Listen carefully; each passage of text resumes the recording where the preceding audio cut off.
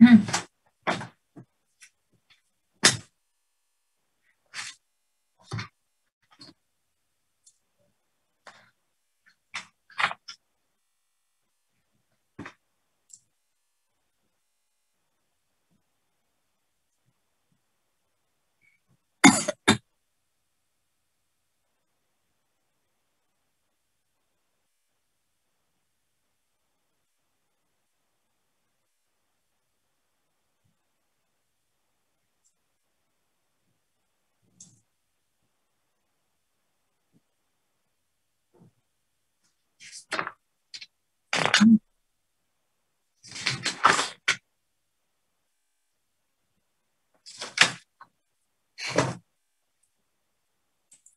Bây giờ chúng ta sang chương mới.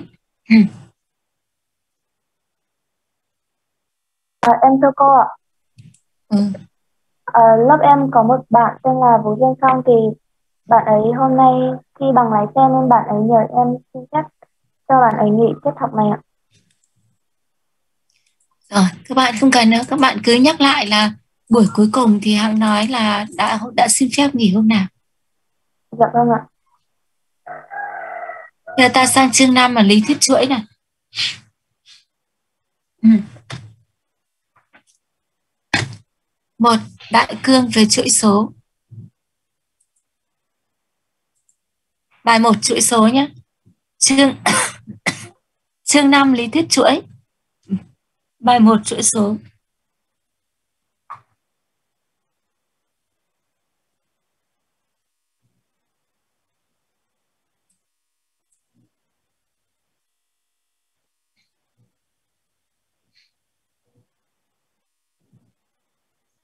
Một đại cương về chuỗi số.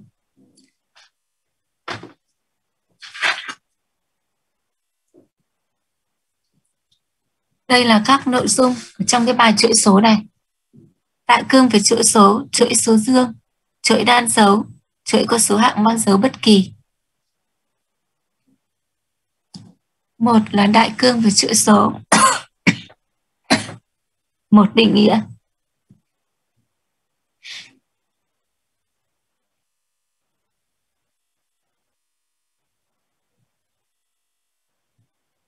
Định nghĩa này.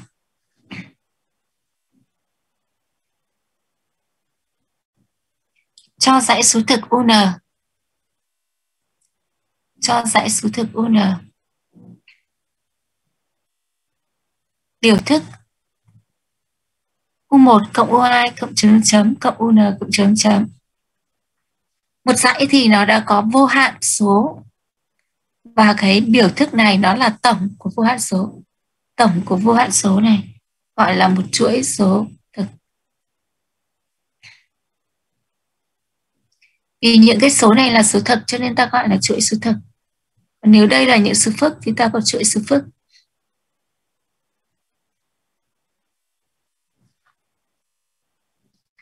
Biểu thức này gọi là một chuỗi số thực UN à, và ta ký hiệu là tổng sigma UN n chạy từ 1 đến vô cực.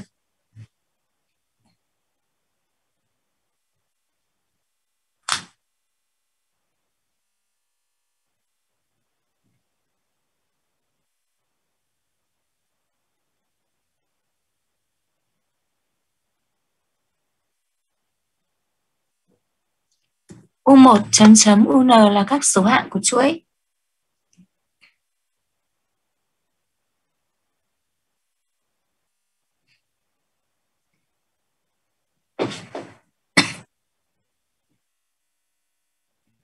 Cũng như trong phép cộng ấy, thì chúng ta sẽ có là các số hạng. Còn ờ, cộng lại thì ta sẽ được cái tổng. Thì đây U1, U2 chấm chấm UN là các số hạng và UN thì được gọi là số hạn tổng quát của chuỗi.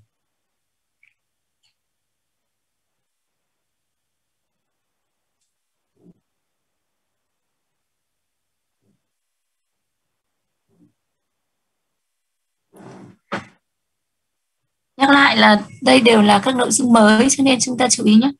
Và bài kiểm tra cuối cùng là bài tập đấy, là cũng sẽ kiểm tra vào phần chuỗi cái bài giữa kỳ đấy thì chưa có đến chuỗi, tuần sau chưa có chuỗi, nhưng mà bài tuần sau nữa là có chuỗi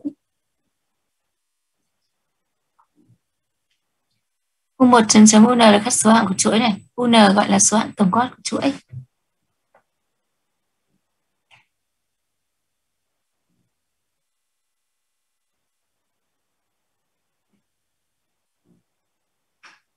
Được chưa?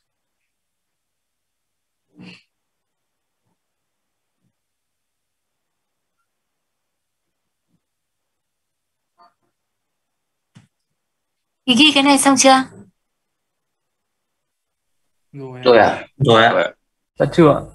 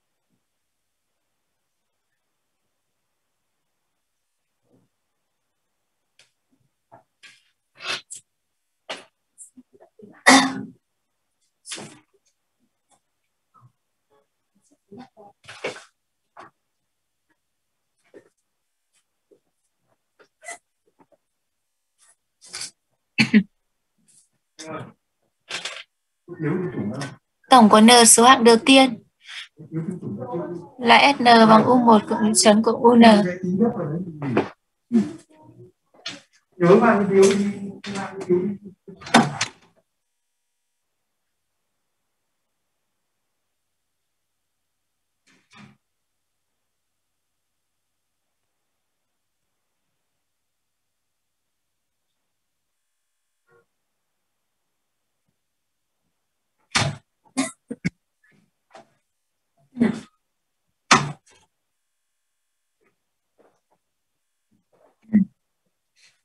Tổng của N số hạng đầu tiên này gọi là tổng riêng thứ N của chuỗi này.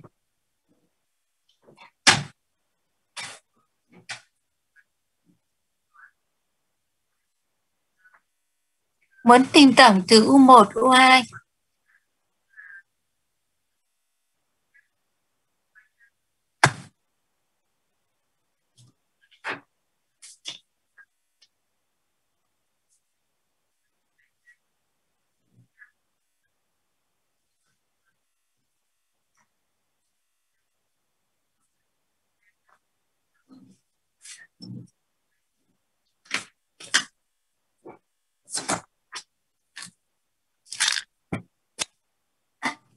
tờ giấy chứng nhận ấy, anh ạ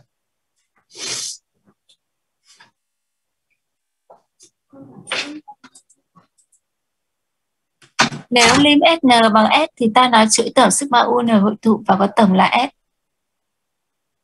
Nếu lim SN khi N sở nếu cực bằng S thuộc R thuộc R nhé giới hạn là số thực ấy thì ta nói chuỗi tổng sigma UN hội tụ và có tổng là S.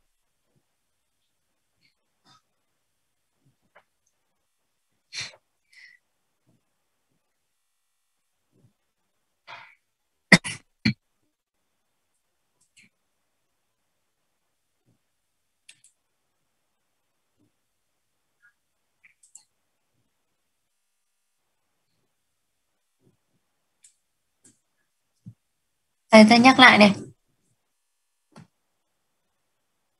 Mình muốn tìm tổng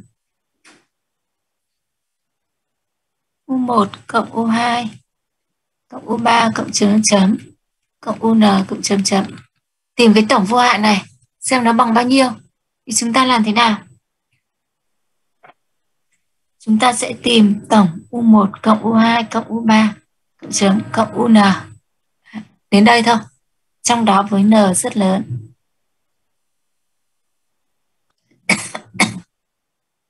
Ta tìm cái tổng SN này là tổng từ U1 đến UN với n rất lớn. Nếu đến một cái lúc nào đó, ví dụ như là n bằng à, bao nhiêu tỷ tỷ rồi đấy, thì kết quả nó bằng này. Xong đến khi chúng ta có cộng thêm mấy số hạng nữa, kết quả nó cũng vẫn chỉ như thế này thôi, tức là nó không chính xác như vậy nhưng mà nó vẫn sức xỉ bằng đấy nếu chúng ta có cộng thêm rất nhiều số nữa, kết quả nó cũng vẫn vẫn xấp xỉ bằng một cái số s nào đấy. Thì ta nói s chính là cái tổng vô hạn này đó. như vậy, làm sao để nói là với những cái n rất lớn mà tất cả những cái số sn này xấp xỉ bằng cái số s nào đó, thì đó chính là lim sn tính sn rồi tìm lim sn khi n dần đến vô cực. Nếu giới hạn này là một số thật thì ta nói chuỗi hội tụ và có tổng là s.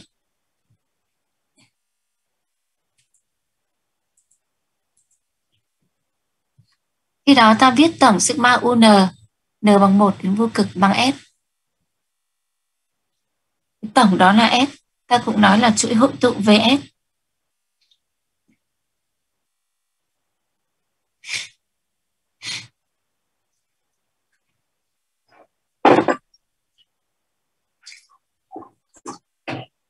Như vậy là chưa có gì nhé. Chuỗi số là tổng của vô số số. Và muốn tìm cái tổng của vô số số đó, thì ta sẽ tìm lim của cái SN. Trong đó SN là tổng của N số. Và ta cho cái N đấy dần đến vô cực. N số đầu tiên ấy.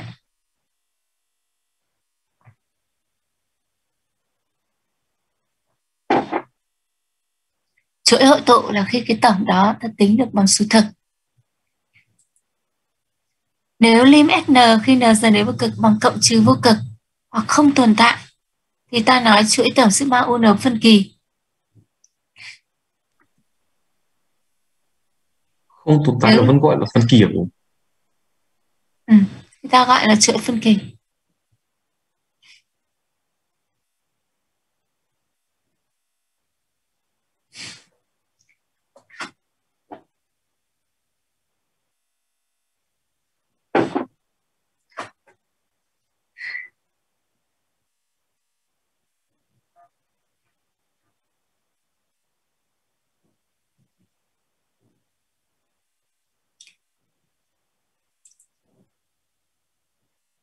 Được chưa nào?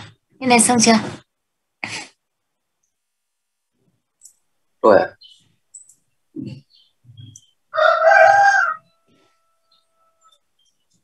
Nếu chuỗi tổng sigma un hội tụ với S thì ta đặt Rn bằng S trừ Sn. Rn gọi là phần dư thứ n của chuỗi.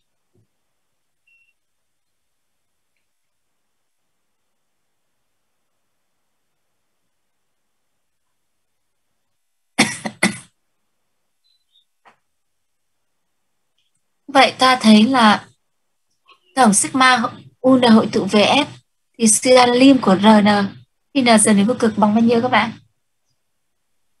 Bằng S trừ SN. Lim của S trừ SN. Lim của S trừ SN bằng bao nhiêu?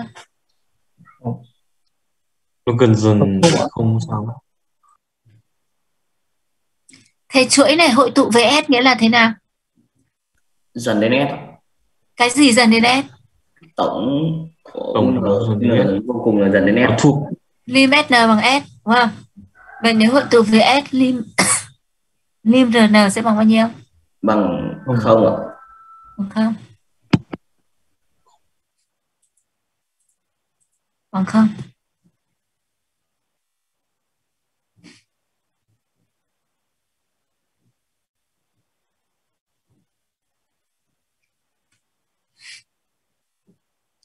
Ví dụ, ta xét chuỗi tổng sigma của 1 trên n. n chạy từ 1 đến vô cực. Hmm. Bắt đầu n bằng 1 này. Thì ta có một số hạng là đầu tiên là 1. Ta thay n bằng 2. Số hạng 1 phần 2. n bằng 3 là 1 phần 3 cộng chấm chấm. Số hạng tổng quát là 1 trên n cộng chấm chấm. Nhớ là chuỗi này nó là tổng vô hạn cho nên bao giờ đằng sau này cũng có chấm chấm. Thì đây là một chuỗi số và nó được gọi là chuỗi số điều hòa.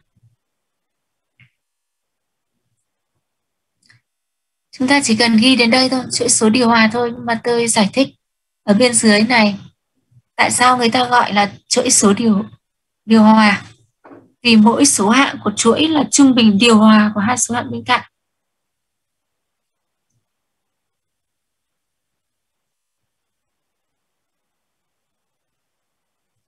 À, ví dụ ta có hai số AB này.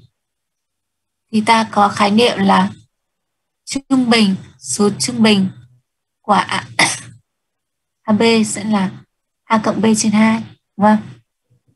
nhưng mà trung bình điều hòa ấy trung bình điều hòa của AB sẽ là 2 trên 1 trên A cộng 1 trên B là trung bình điều hòa của hai số ví dụ như là cái số 1 phần 3 ấy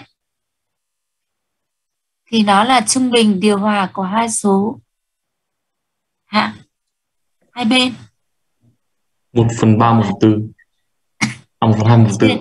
Một phần hai cộng à.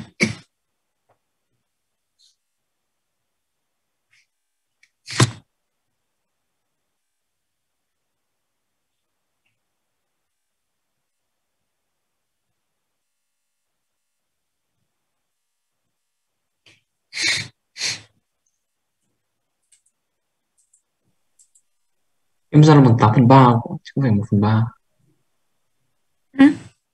phải là một phần của một trên một phần hai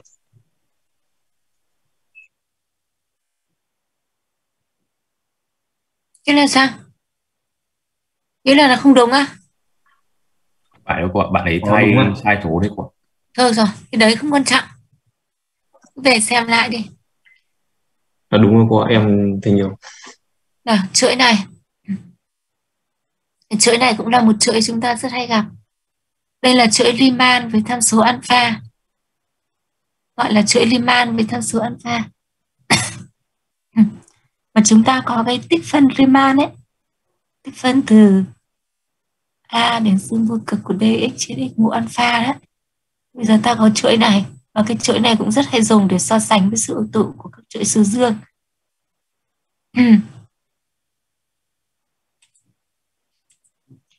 Là chuỗi được gọi là chuỗi Riemann với tham số alpha.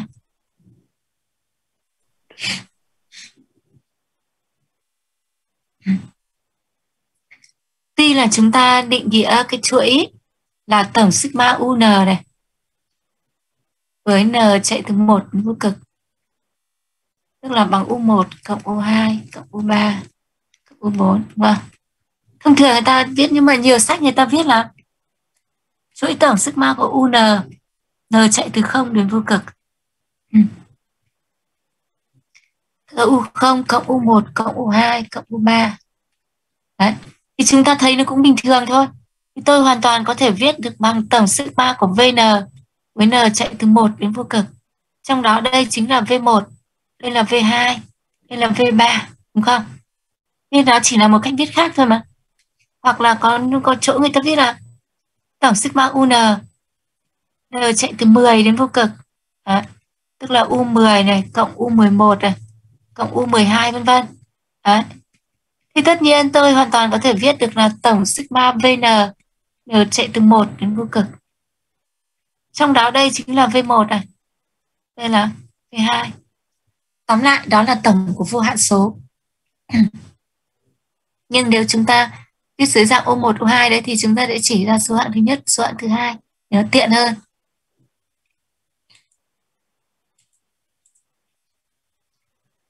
Ví dụ, xét sự hội tụ của chuỗi số sau. chúng ta sẽ xét sự tụ của chuỗi số này và chúng ta ghi nhớ kết quả.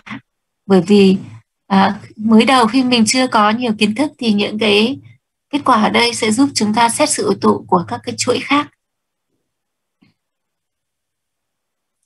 Xét sự tự của chuỗi này.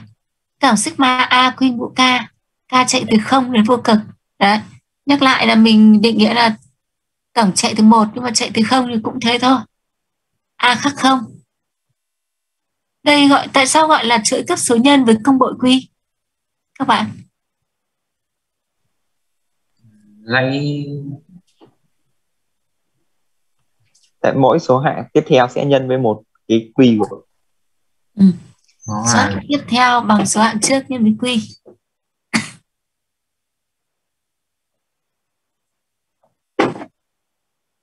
Bây giờ chúng ta chỉ có biết mỗi một cách thôi để xem xem là chuỗi hội tụ hay không, đó là gì? Làm sao để biết hội tụ hay không? Viết ra. Đó là ta phải tìm SN. SN là tổng của N số hạng đầu tiên, đúng không? U1 cộng U2 cộng chấm chấm cộng UN. Xong rồi ta mới tìm lim của SN khi N dần đến vô cực xem là nó có thuộc R hay không. Nếu thuộc R thì mới suy ra là hội tụ.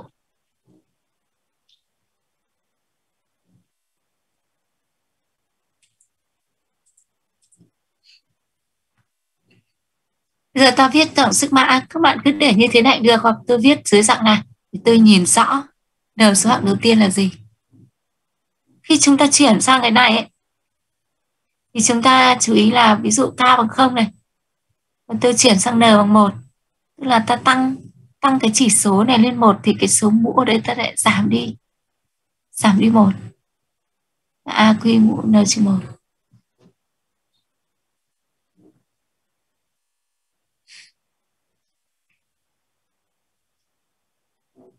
Giờ ta tìm SN này. SN là tổng của n số hạng đầu tiên. Tức là bắt đầu từ A này, K chạy K từ 0 nhé. A quy mũ 0 cho đến A quy mũ n trừ 1. Nếu như mà mình đặt A ra ngoài ấy thì à, nó sẽ bằng cái gì? Mình đặt A ra cấp số nhân của những cái một quy cộng lại quy này. Cộng chấm chấm cộng quy mũ n trừ một. Cái chỗ này là bằng gì? Bằng SN đâu đây là tổng từ 1 đến quy mũ n trừ một thì bằng cái gì các bạn? Hàng đẳng thức đây. Quy mũ n trừ đi một trên quy trừ một. không hoặc là ta viết. Hoặc là một trừ quy mũ n trên một trừ quy cũng được.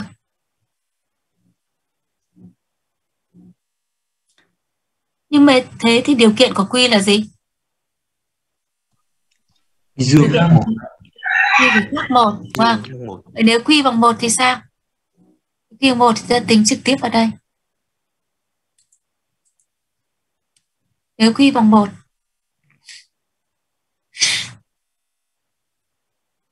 ở đây người ta chỉ cho a là số khác không thôi. Nếu quy bằng một thì cái chỗ này các bạn thấy là cái sn nó bằng bao nhiêu?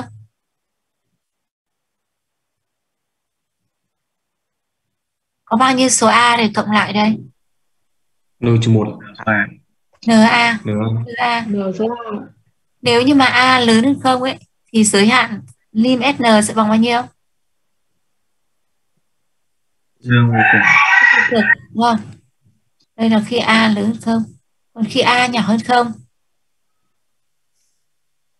Thì ta suy ra sn sẽ dần đến. Âm vô cực.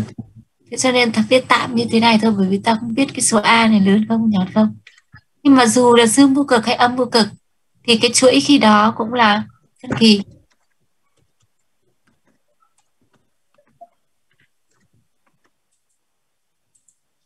Chuỗi phân kỳ nếu quy khác một, thì SN sẽ bằng A nhân quy mũ N trừ 1 trên quy trừ 1.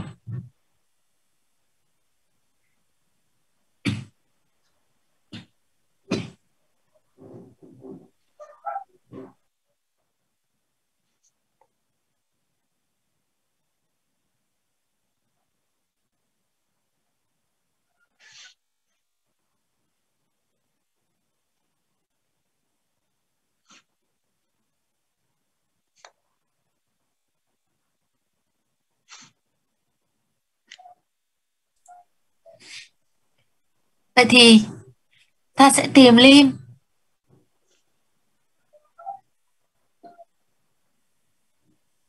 Tôi viết sang đấy nha. thì quy khác một này. SN sẽ bằng A nhân quy mũ N trừ 1 trên quy trừ 1. Đây, tôi viết lại chữ này là A này. Nhân 1 cộng quy cộng chấm chấm cộng quy mũ N trừ 1 thì nó sẽ bằng A nhân Q mũ N trừ đi 1 trên Q trừ 1. Với Q khác 1.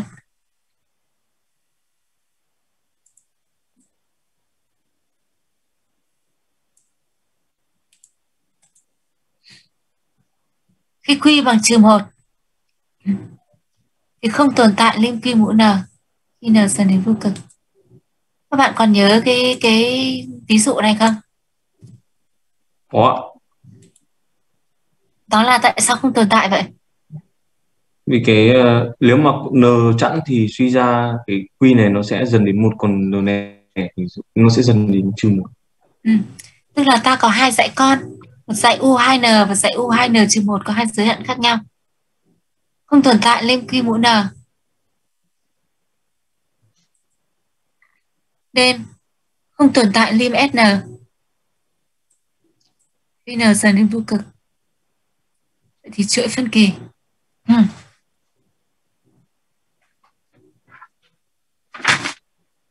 thì sao? Đây nói rõ hơn cái chỗ này nhé giả sử lim. Ta nói cái chỗ này.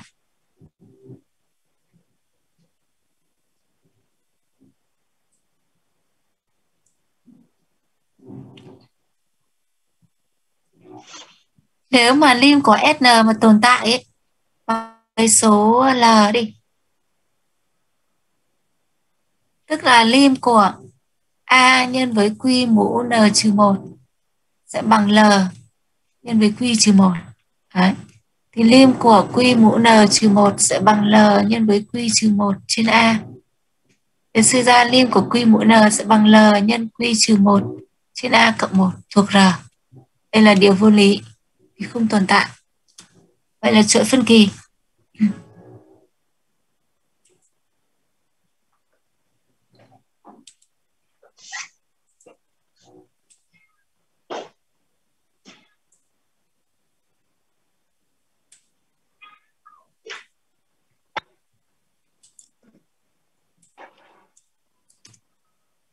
Còn nếu trị tuyệt đối nhỏ của quy nhánh 1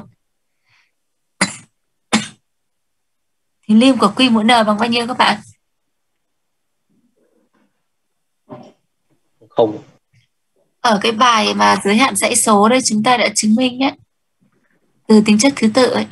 Lim của A mũ n khi n dần đến vô cực sẽ bằng gì? Không khi gì? Trị tuyệt đối của A nhỏ hơn một nhỏ một lớn không gì đấy đúng không? Nhỏ một bằng dương vô cực khi a lớn A lớn hơn một. Cho nên khi trị đối của quy nhỏ một thì lim quy mũ n sẽ bằng không. Thì cái lim sn này sẽ bằng a trên một trừ quy.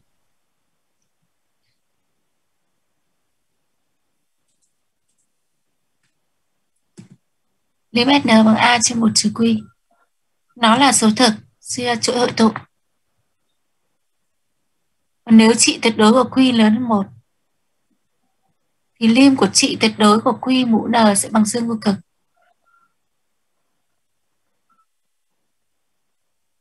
Lớn cái này trị tuyệt đối lớn một thì trị đối quy mũ n sẽ có giới hạn bằng dương vô cực. dư hạn lim của sn thuộc thực r.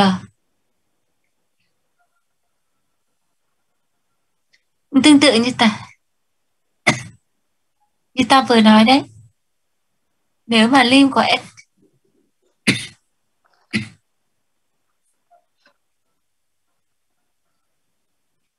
ngược lại thôi.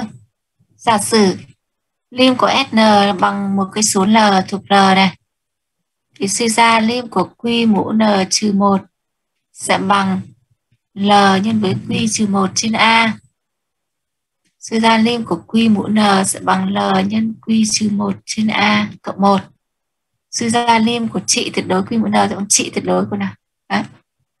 lim fx bằng a thì lim trị đối fx bằng trị đối của a chúng ta đã có tính chất đấy. Xin lỗi.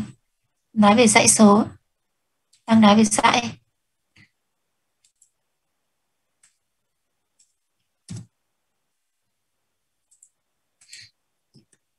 Tóm lại. Chuỗi này. Tổng sigma a quy mũ k k bằng không đến vô cực hội tụ. Và có tổng là a một chữ quy.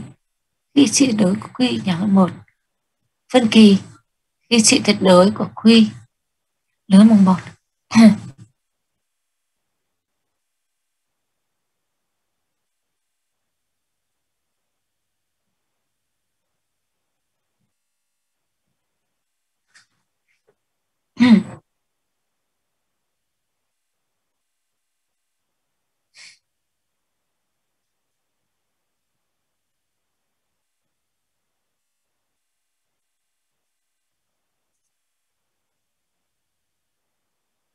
Được chưa nào?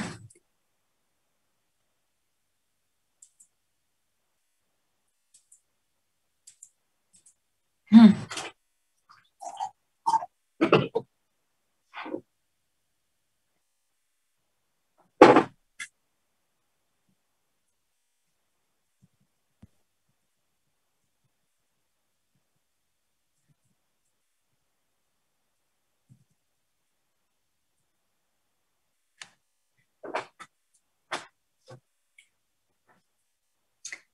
chúng ta ghi ghi một cái mà nó nó nó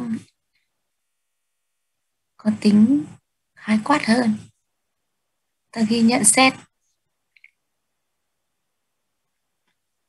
Chuỗi cấp số nhân. Hội tụ. Chuỗi cấp số nhân nha hội tụ khi và chỉ khi giá trị. Tuyệt đối. Của công bội. Nhỏ hơn một. Chuỗi cấp số nhân hội tụ khi và chỉ khi, giá trị tuyệt đối của công bội nhân một khi đó, tổng của chuỗi tổng của chuỗi là số hạng đầu tiên.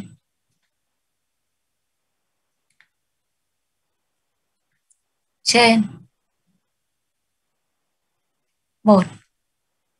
Trừ đi. Công bộ. Đây là tôi viết ờ, không đúng nha không đúng. Các bạn ờ, tôi chỉ viết nôm na thế thôi. Còn các bạn viết thế nào thì tất nhiên. Vừa viết số vừa viết chữ như này là không được rồi. Tôi viết như vậy thôi. Ừ. Chuỗi cấp số nhân hội tụ khi và chỉ khi giá trị tuyệt đối của công bội nhóm 1.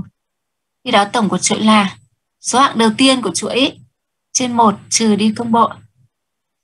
Chúng ta không bao giờ được trình bày vào bài với cách viết như thế này nhé. Tôi chỉ viết như vậy thôi.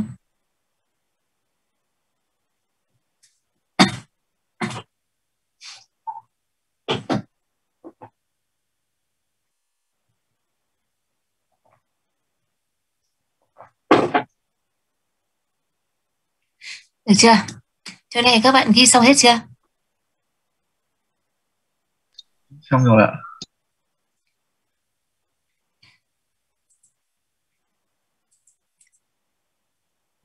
Chẳng hạn này, cái chuỗi này có là chuỗi cấp số nhân không? Công bội là bao nhiêu?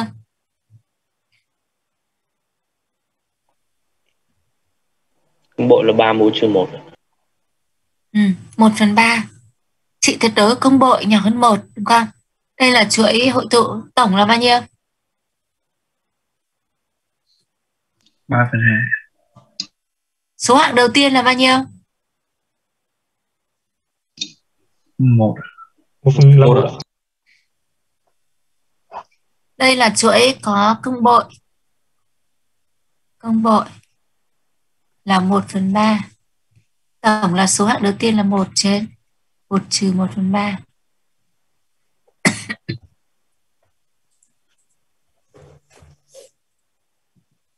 Chuỗi này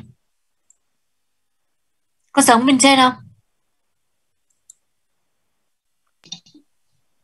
Thực ra là nó nó tương tự mình chỉ thay số 2 và số 3 với lại thay cái chữ N chạy với K chạy đúng không? Số 2 ạ. Tụ.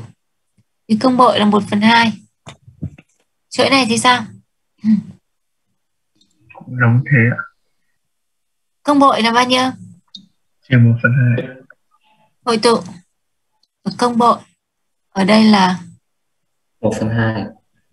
công bội ở đây là công bội là bao nhiêu? Trừ 1 phần Trừ 2. 1 phần 2. Trừ 1 phần 2. Và trị tuyệt đối của trừ 1 phần 2. Nhỏ hơn 1. Đúng không? Chúng ta chỉ cần giá trị tuyệt đối thôi mà. Tổng là bao nhiêu? Số hạng đầu tiên là bao nhiêu? Số hạng đầu tiên là 1, đúng không? Trên 1 trừ đi. Trừ 1 phần 2.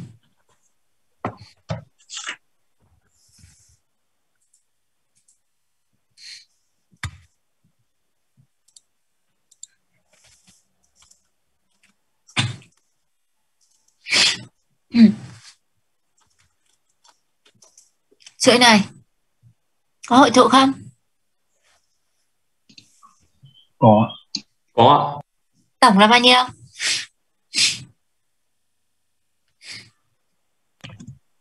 Bằng hai trừ một phần hai. Số hạng đầu tiên là 1 phần 2 trên 1 trừ công bội. Vậy là bằng 1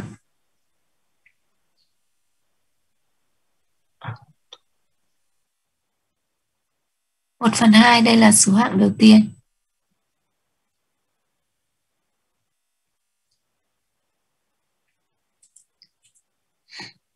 chuỗi này. Có hội tụ không? Không. Không kỳ. Bởi vì công bội bằng 2 chị thực đấu hai lớn một. Ừ. chuỗi này thì sao?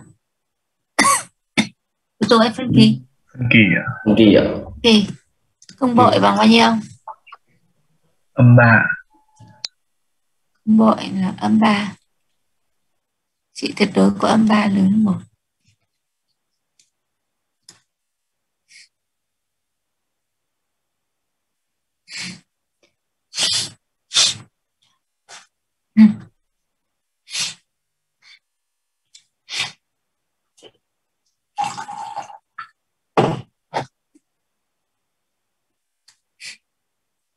Nhớ là cái tổng của nó là tổng của nó là số hạng đầu tiên trên một trừ không bội. Ở đây trong cái tổng này số hạng đầu tiên là khi ta thay n1 đó là 1 phần 2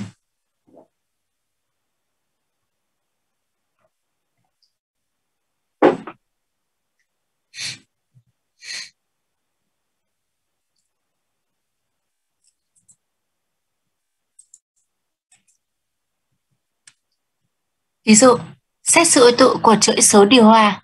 Vậy là ta đã biết một cái chuỗi cấp số nhân là hội tụ khi nào rồi nhé. Bây giờ ta xét sự hội tụ của chuỗi tổng sigma 1 trên n. n bằng 1 đến vô cực.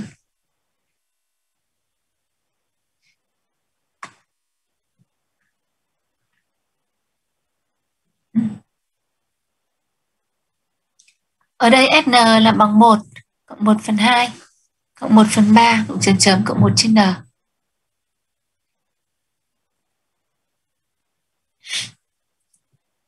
S2n là 1 cộng 1 phần 2 cộng 1 phần 3 cộng chấm chấm cộng 1 trên 2n.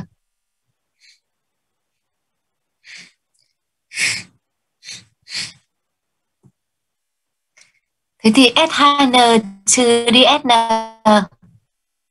Đây thì là tổng từ 1 trên n cộng 1 đến 1 trên 2n. Đây là 2n chính là n cộng n đấy. Vậy đây là, là n số hạng. Và số hạng bé nhất là 1 trên 2n. Cho nên cái này lớn bằng n đi 1 trên n bằng 1 phần 2 với mọi n.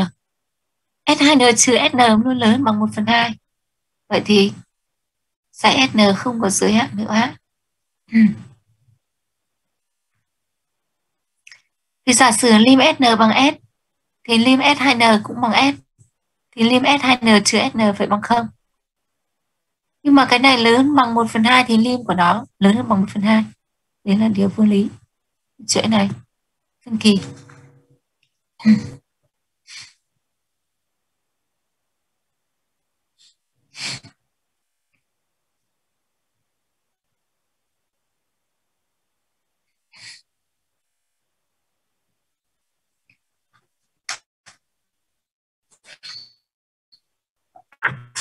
Ừ.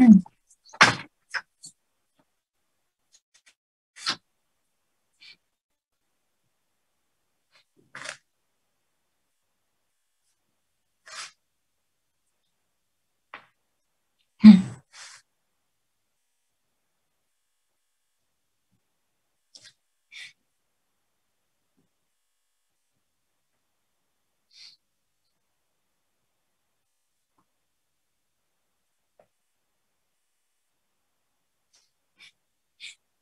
Các bạn hiểu cái này không?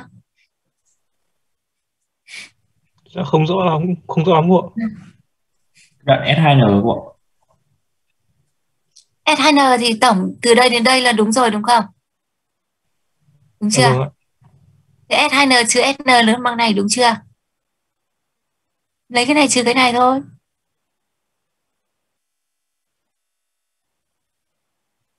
Bây giờ tôi bây giờ tôi nói cho- nó rõ hơn một tí này. Nếu bây giờ ta có một cái dãy SN tức là cái dãy S1 này, S2, S3, chấm chấm SN, chấm chấm. Thì khi mà ta nói là giới hạn của cái dãy này này, thì chính là lim của SN khi N dần đến vô cực. Đúng không các bạn? Giống như là ta cho một, ờ, uh, tôi, viết bên này cho nào chúng ta dễ nhìn này. Ví dụ bây giờ tôi cho một cái dãy U1, U2, chấm chấm UN vân vân. Đây là một dãy đúng không? Liệt kê đây. Thì giới hạn của dãy này giới hạn của dãy này thực ra ấy chính là lim của UN khi n dần đến vô cực cái gì? Đúng chưa? Bây giờ tôi cho cái dãy là gồm các số hạng là 1, 1 phần 2 1 phần 3 chấm chấm chấm 1 trên n đấy chấm chấm chấm thì giới hạn của dãy này chính là ly 1 trên n khi n dần đến vô cực cái gì thì đúng như vậy thôi.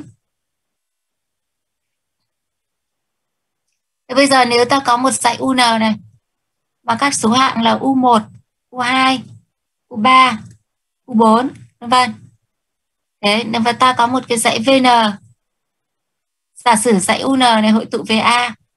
Dãy VN sẽ là V1, V2, V3, V4 vân vân. Thế thì lim của UN trừ VN khi n dần đến vô cực bằng bao nhiêu các bạn? Nếu mà lim VN bằng B, B trừ A A trừ B. UN trừ VN sẽ bằng A trừ B đúng không? Nhưng mà UN trừ VN thì các bạn có biết là nó gồm những số hạng nào không? Đây ta có dãy U, UN là U1, U2 chấm chấm U3, U4. Dãy VN là V1, V2, V3, V4 thì UN trừ VN là dãy gồm những số hạng nào? U1 trừ V1 trừ U1 U1 trừ V1, U2 trừ V2, chấm chấm đúng không? Đúng chưa? Vâng. Thế bây giờ ta nói vào đây. Thì cái dãy SN ấy, lim của SN ấy, lim của SN khi N dần đến vô cực, nó chính là giới hạn của cái dãy S1, S2, chấm chấm, SN, chấm chấm, đúng không? Đúng như bên này này. Thực ra là nó là hai cách khác nhau thôi mà. Thế nhưng mà cái dãy mà S2, S4, S6, vân vân, S2N thì có phải là dãy con của cái dãy này không? có. Thì nếu như mà cái dãy con, nếu mà cái dãy ban đầu này này mà hội tụ về một số S thì cái dãy con này cũng phải hội tụ về S. Đấy là tính chất của dãy con, đúng không?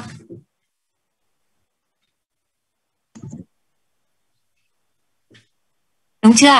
Đây là tính chất này. Nếu một dãy UN hội tụ về A thì mọi dãy con của nó cũng hội tụ về A đấy tính chất của dãy con. Nên vì sao tôi nói là dãy con là nó có liên hệ phần nào. Thế nhưng mà bây giờ ta so ta được các bạn lại đối chiếu vào đây nhá. Các bạn coi như là cái dãy lúc uh, bên đầu này là dãy UN ở bên này nhá. Còn cái dãy này chính là dãy VN ở bên này này. Đấy. Thế thì cái dãy mà lấy cái này trừ cái này chính là cái dãy S2 trừ đi S1, S4 trừ đi S2 vân vân. S2N trừ đi SN. Đấy. Thì nó sẽ phải hội tụ về không, đúng chưa? Lấy cái này trừ cái này thì nó sẽ phải có giới hạn là không. Thế nhưng mà S, cái dãy này này, số hạng tổng quát của nó chính là gì? S2N trừ S. Cái dãy này lim của nó chính là lim của S2N trừ SN. Nhưng mà S2N trừ SN thì luôn lớn bằng 1 phần 2. Lim của nó lớn bằng 1 phần 2.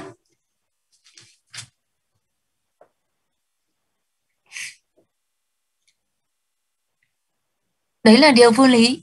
Bởi vì đáng lẽ lim của S2N trừ SN phải bằng 0. Nhưng bây giờ lại lớn bằng 1 phần 2. Vậy chuỗi phân kỳ.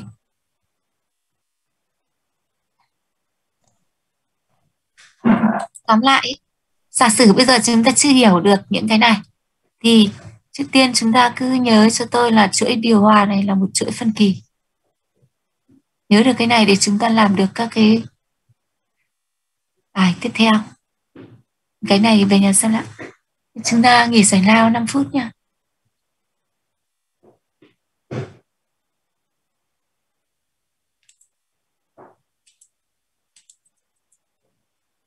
Đấy, tôi để lại đây để chúng ta có nhìn lại thì chúng ta nhìn.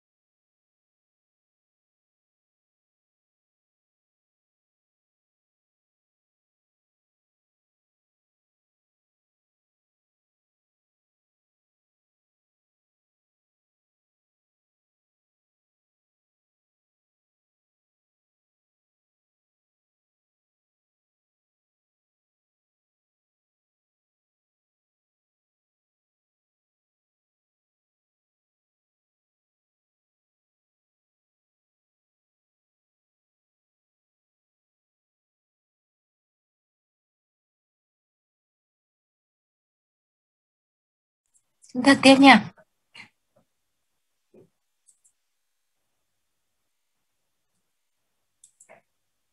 Như vậy này. Điều chúng ta cần nhớ nhất đó là chuỗi số điều hòa này, phân kỳ nha. Chuỗi này phân kỳ. Chúng ta nhớ thế này.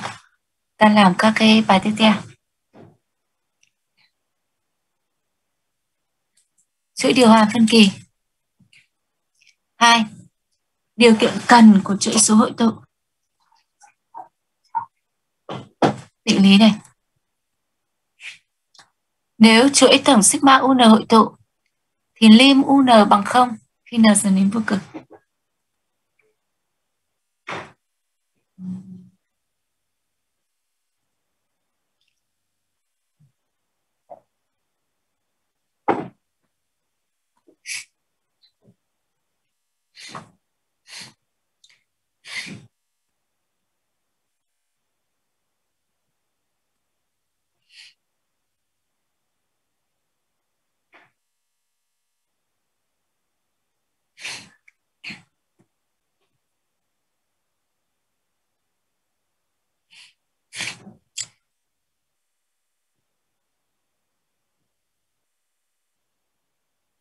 À, đây là phần chứng minh.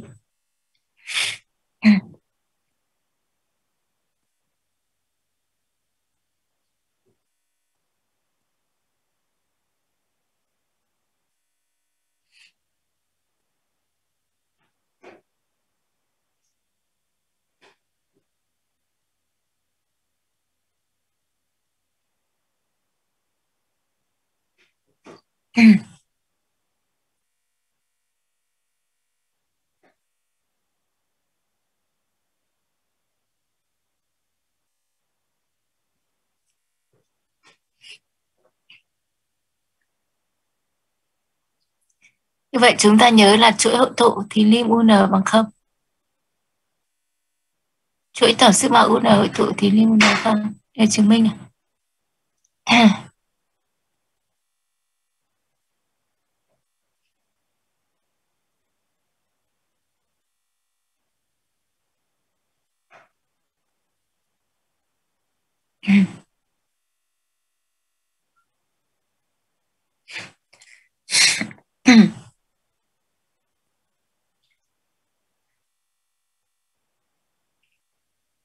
Chú ý này, điều kiện lim UN bằng 0.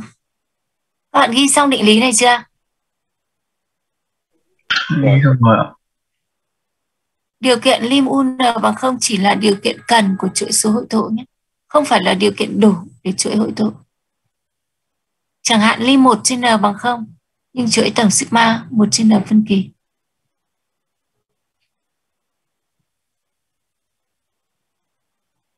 Nhắc lại này. Tổng sigma. UN. Hội tụ. Thì suy ra lim của UN phải bằng không. Còn lim UN bằng không, thì không suy ra tổng sigma UN hội tụ. Lim UN bằng không? Chưa đủ. Chưa đủ. Lim UN bằng không mới là một điều kiện nhưng mà nó chưa đủ để suy ra tổng cái này hội tụ. Nhưng mà nếu lim UN khác không thì sao? Thì nó phân kỳ ạ. Lim UN khác không thì chuỗi Phân kỳ. phân kỳ đúng không? Bởi vì nếu mà hội tụ thì lim nó phải bằng không cơ. Vậy lim UN khác không thì chuỗi phân kỳ. Còn lim UN bằng không ấy thì mới thì vẫn chưa đủ chưa đủ để cho cái này hội tụ cũng là một điều kiện nhưng mà nó chưa đủ cho nên nó không phải là điều kiện đủ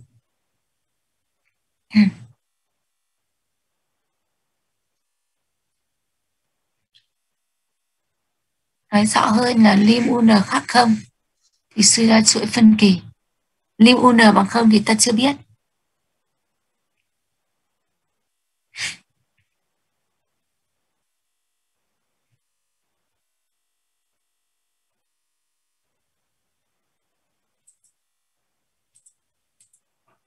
Ví dụ, xét sự hội tụ của chuỗi có số hạng tổng quát sau. Ừ. UN bằng căn bậc 2 của N bình cộng N trừ N.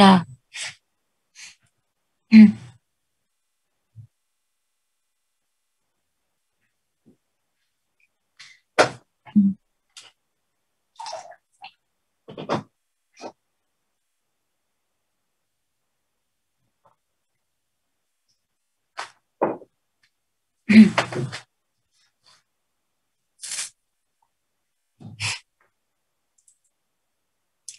Chúng ta tìm lim UN khi n dần đến vô cực.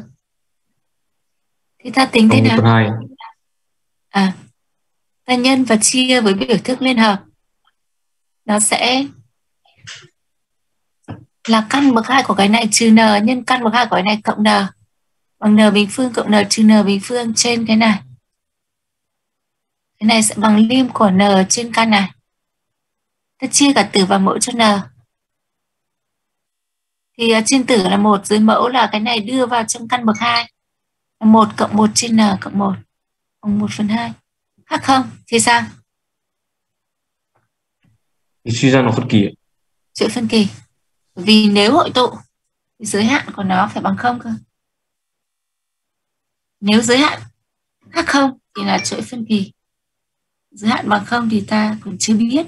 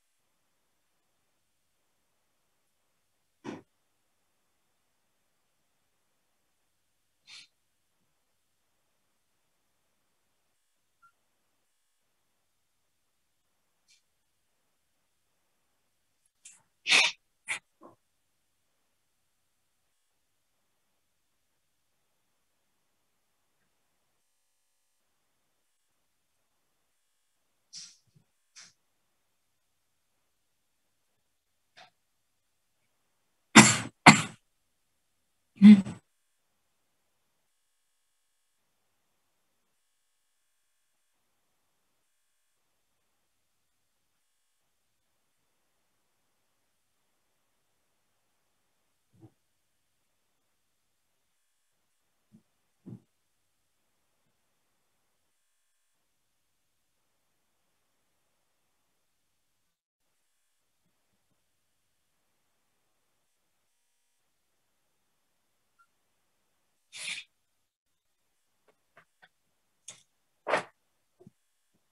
Ba, tính chất của chuỗi số hội tụ. Tính chất của chuỗi số hội tụ này. Tính chất một.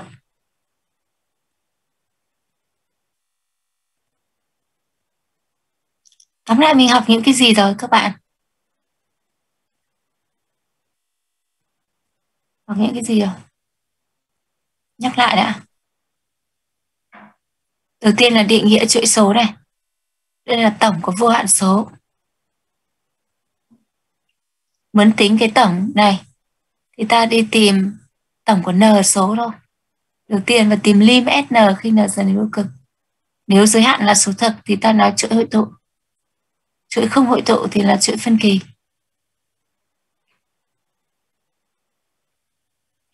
Và ta có một cái chuỗi tổng sigma 1 trên n được gọi là chuỗi điều hòa. Chuỗi tổng sigma 1 trên n mũ alpha gọi là chuỗi Riemann và đây là chuỗi cấp số nhân. Chuỗi cấp số nhân với công bội Q chỉ hội tụ khi trị tuyệt đối của công bội nhỏ hơn một và tổng của chuỗi khi đó sẽ là số hạng đầu tiên trên một trừ công bội.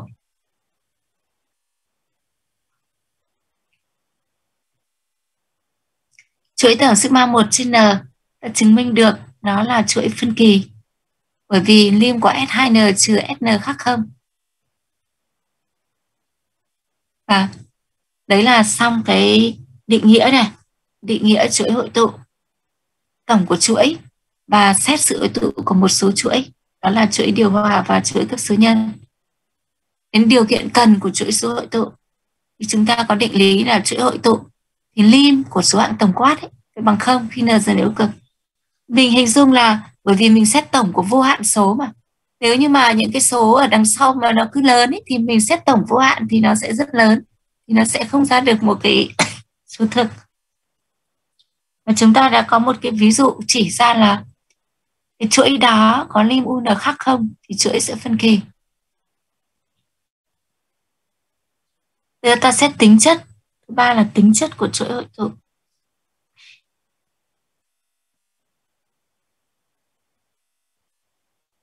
Một là một số định nghĩa này. Định nghĩa về chuỗi này. Rồi tổng của chuỗi này. Số ví dụ về chuỗi. Hai là điều kiện cần để chuỗi hội tụ ba là tính chất của chuỗi số hội tụ.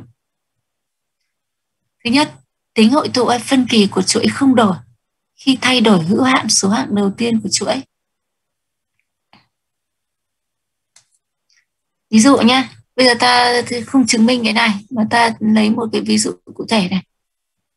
Ví dụ cái chuỗi là ờ, uh, 1 cộng với 1 phần 2 cộng 1 phần 4 cộng 1 phần 8 cộng 1 phần 16 chấm chấm. Thì, thì các bạn thấy chuỗi này có tổng bằng bao nhiêu?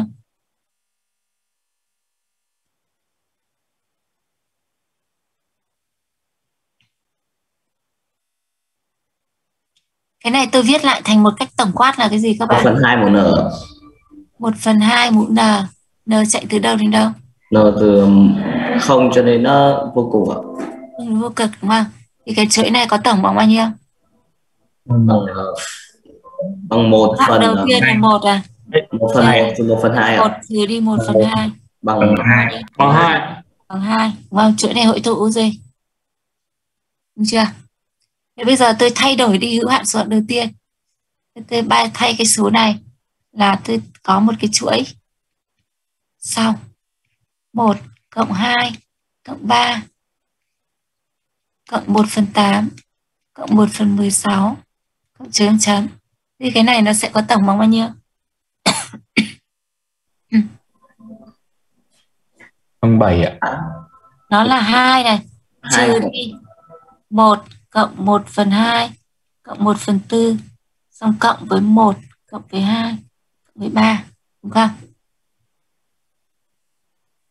Đúng chưa? Ta lấy cả cái này ta trừ đi cái chỗ này thì nó chính là cái phần đằng sau này. Phần đằng sau này tôi cộng với cái này thì là cái chuỗi này gì? vâng như vậy là nếu ta thay đổi hữu hạn số hạng đầu tiên đây chính là cái phần này này. Đấy, thay đổi hữu hạn. Hữu hạn nhé. Thì cái sự chênh lệch của cái tổng các chuỗi ấy, chính là sự chênh lệch của hữu hạn số này gì? Mà khi ta lấy hữu hạn số thì cái sự chênh lệch ấy nó cũng là một số thôi. Sự chênh lệch nó cũng là một số cho nên nếu chuỗi này hội tụ và ta cộng trừ đi một số thực thì cái chuỗi sau này cũng hội tụ thôi. Tất nhiên tổng nó sẽ thay đổi. Còn nếu chuỗi lúc đầu phân kỳ thì chuỗi lúc sau cũng sẽ phân kỳ. Cho nên ví dụ như là nhiều khi người ta à, có một cái bài là xét sự hội tụ. Xét sự hội tụ của chuỗi tổng sigma của UN n bằng 1 đến vô cực thì ta lại đi xét sự hội tụ của chuỗi tổng sigma của UN n bằng 10 vô cực? Là hoàn toàn được, đúng không? Bởi vì hai chuỗi này chỉ chênh nhau là 9 số hạng. Đầu tiên thôi. Sự hội tụ hay phân kỳ thì không đổi. Tất nhiên tổng sẽ thay đổi. Tính chất hai này. Giả sử các chuỗi tổng sigma un tổng sigma vn hội tụ và có tổng lần lượt là ab khi đó, tổng sigma lambda un sẽ hội tụ và có tổng là lambda a. N chạy từ 1 đến vô cực.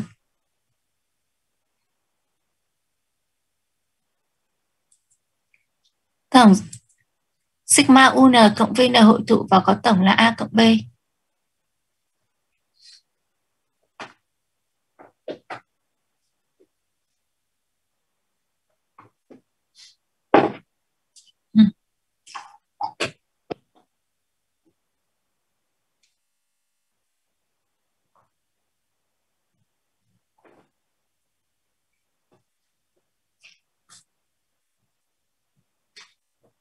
Mà khi đó ta viết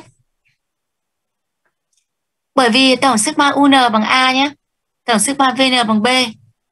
Thế thì tổng sigma UN cộng VN bằng A cộng B thì nó chính là tổng sigma UN cộng tổng sigma VN. Những cái tính chất này chúng ta chứng minh được dễ dàng dựa vào việc là chúng ta viết cái tổng SN ấy. Và ta tìm lim SN khi nào dần đến vô cực.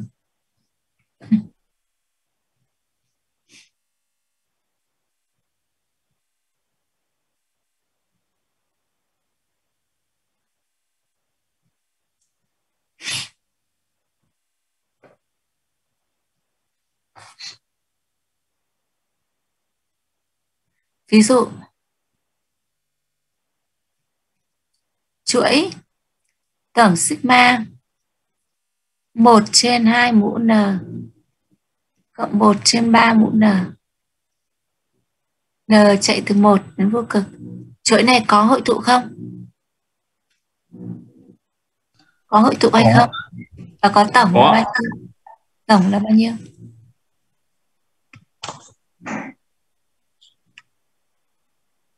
Nó sẽ bằng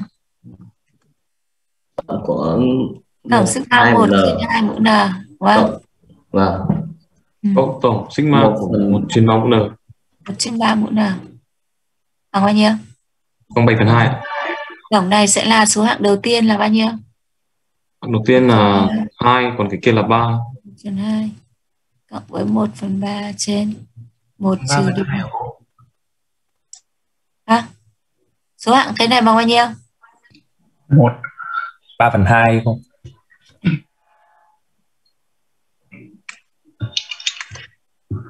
ba phần 2. một phần hai Kết quả bằng 3 phần 2 cái gì? Vâng. Đấy, như vậy. Tổng của lambda F và tổng của à, xin lỗi tổng lambda UN bằng lambda tổng sigma UN tổng sigma UN cộng VN bằng tổng sigma UN cộng tổng sigma VN.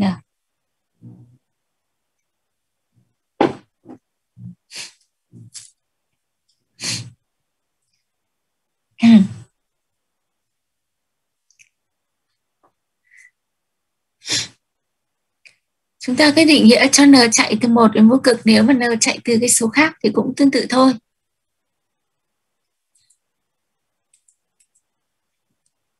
Hai, chuỗi số dương.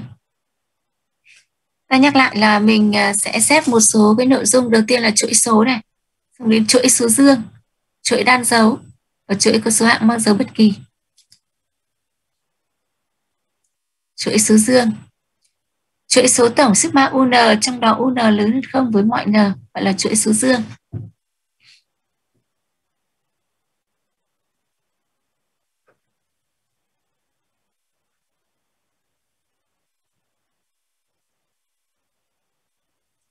U n lớn không với mọi n là chuỗi số dương. Ở trong phần này, mình sẽ có một số định lý để xét sự hội tụ của chuỗi số dương, mà nó tương tự như là các định lý xét sự hội tụ của tích phân suy rộng, bằng số không âm ấy. Một là điều kiện hội tụ của chuỗi số dương. Định lý này. Chuỗi số dương tổng sigma UN hội tụ khi và chỉ khi, dãy tổng riêng SN của nó bị chặn trên.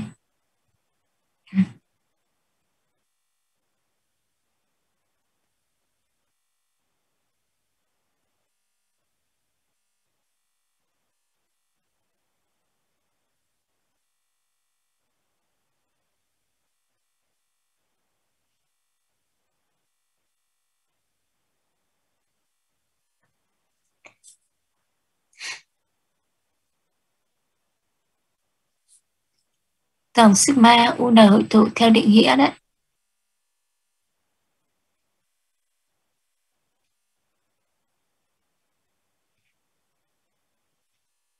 Khi và chỉ khi dãy tưởng dương SN hội tụ, đúng không? Nói một cách khác là lim của SN là số thực đấy. bằng S một số thực dãy này hội tụ nhưng mà bởi vì đây là một chuỗi số dương. Thì ta sẽ có này. SN là tổng từ U1 cho đến UN thế còn SN cộng 1 ấy, thì bằng tổng từ U1 cho đến UN rồi cộng với UN cộng 1 thì cái này lớn hơn SN ta cứ cho là lớn hơn hoặc bằng đi thế như vậy thì dãy SN là một dãy tăng. Và chúng ta đã có một tính chất nhé. Tăng ấy mà bị chặn trên ấy thì sẽ hội tụ đúng không? và giới hạn của nó bằng cận trên đúng của nó. Mà tăng mà không bị chặn trên ấy thì sao? Kỳ thì giới hạn bằng dương vô cực. thì lim SN tính chất đấy các bạn cần phải hiểu bản chất bởi vì khi chúng ta làm bài rồi chúng ta cần phải trả lời phỏng vấn ấy, ờ, trả lời vấn đáp. Thì trả lời vấn đáp mà không hiểu bản chất thì cũng không được. Chúng ta đã biết một dãy tăng và bị chặn trên thì nó mới hội tụ còn nếu không bị chặn trên thì giới hạn bằng dương cực. Và khi đó thì cái chuỗi này nó sẽ phân kỳ. Như vậy dãy này phải bị chặn trên. Từ đây thì chúng ta sẽ có các định lý so sánh. Định lý so sánh như sau. Định lý 1 cho hai chuỗi số dương, tổng sigma un, tổng sigma vn, n chạy từ 1 đến vô cực. Giả sử un nhỏ hơn bằng vn với mọi n lớn hơn hoặc bằng n không, n thuộc n sao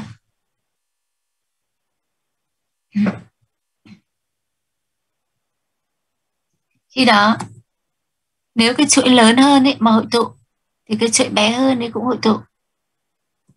Chuỗi bé hơn phân kỳ, thì cái chuỗi lớn ấy phân kỳ.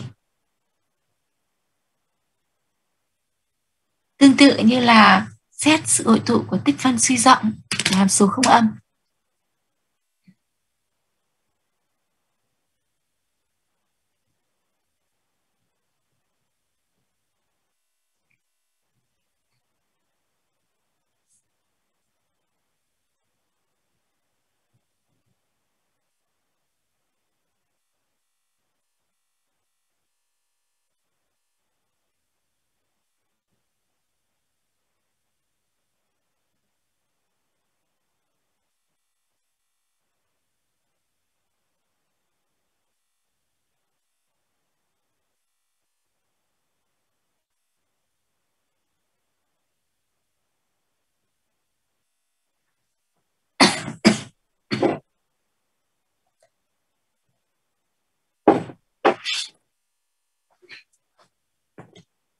Chúng ta nhắc nhớ lại là các cái tính chất của chuỗi số hội tụ nhé tính chất thứ nhất là gì?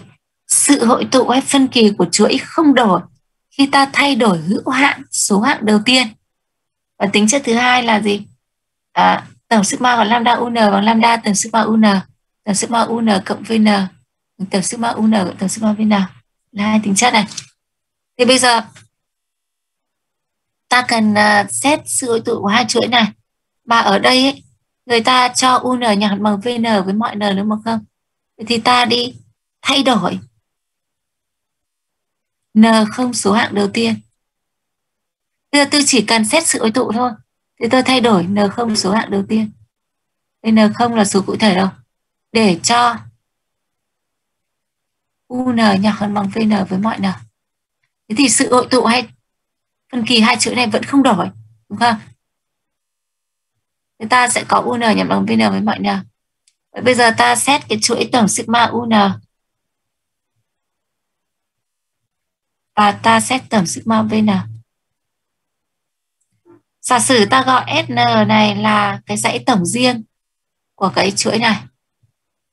Còn SN phẩy là dãy tổng riêng của cái chuỗi này.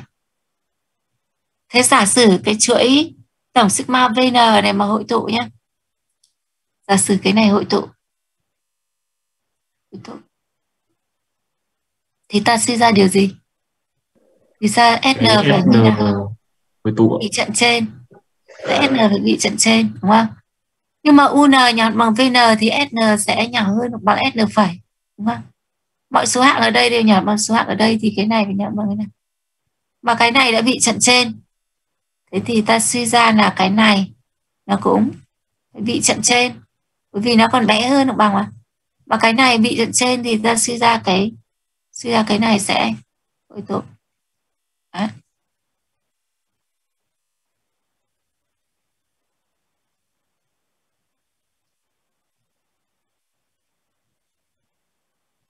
Bây giờ điều tương tự nhé. Điều tương tự này. Giả sử cái chuỗi cái chuỗi bé này. Giả sử cái chuỗi bé này phân kỳ. Ta vẫn có SN nhỏ bằng SN phải rồi nhé. Do cái này. Giả sử cái chuỗi bé này phân kỳ thì cái ta suy ra là cái này sẽ không bị chậm trên. Thế mà cái này lại lớn hơn hoặc bằng thì suy ra cái này cũng không bị chặn trên cái này không bị chặn trên thì suy ra cái này phân kỳ tóm lại là gì nó liên quan đến cái bị chặn trên dương bị chặn trên. Cho nên nếu mà cái chuỗi à, lớn mà hội tụ thì tương đương cái gì bị chặn trên á thì cái chuỗi bé cái gì đấy bị chặn trên á thì chuỗi bé hội tụ. Nếu chuỗi bé phân kỳ thì cái gì đấy không bị chặn trên á thì cái gì đấy của chuỗi lớn này không bị vận trên á thì chuỗi lớn phân kỳ. Tương tự như tích phân. Định lý so sánh thứ hai.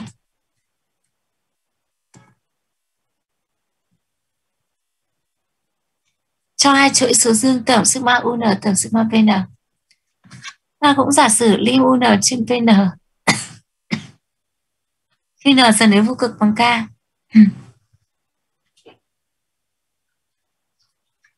Có những trường hợp nào của k các bạn? K từ không đến dương vô cùng.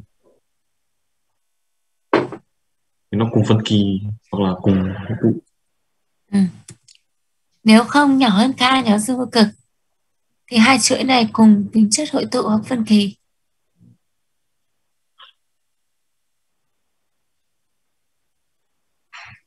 Trường hợp đặc biệt là gì?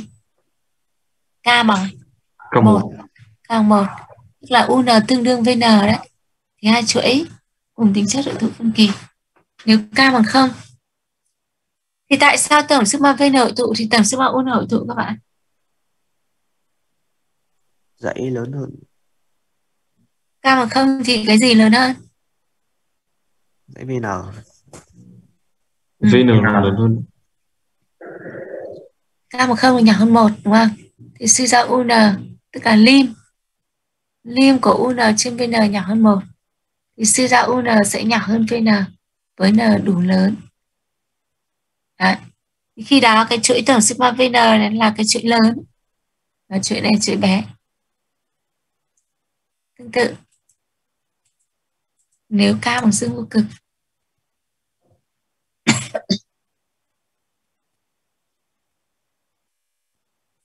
Thì lúc đó với n đủ lớn un sẽ lớn hơn vn khi đó cái chuỗi tổng sigma vn là chuỗi bé.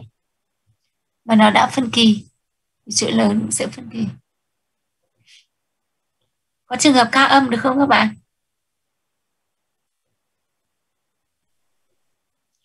tại sao ngay cả ở phần tích phân ở phần này mình không nói đến k âm? Chuỗi số dương đúng không? bởi vì un trên vn lớn hơn không với mọi n đúng không? Một dãy mà mọi số hạng đều lớn hơn không thì giới hạn của nó sẽ lớn hơn bằng không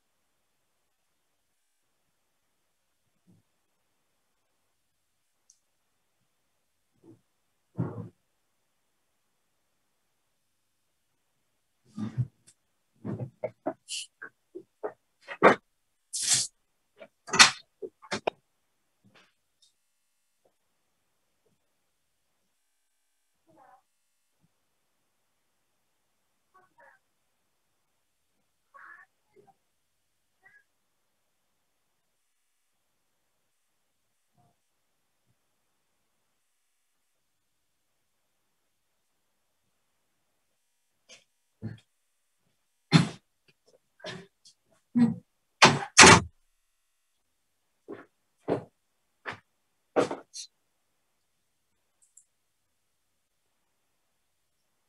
chứng minh này các bạn có thể xem thì sẽ thấy ở phần tích phân nó cũng tương tự nhé. Ví dụ này, xét sự hội tụ của chuỗi số này. Bây giờ mình sẽ dùng các định lý so sánh và chắc chắn mình sẽ phải so với những cái chuỗi mà mình đã biết. Mình mới chỉ biết ờ, chuỗi ờ, cấp số nhân và chuỗi điều hòa thôi.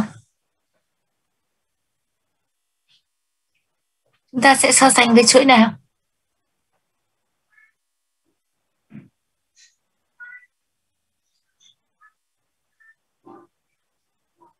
Thứ nhất, đây có phải là chuỗi số dương không?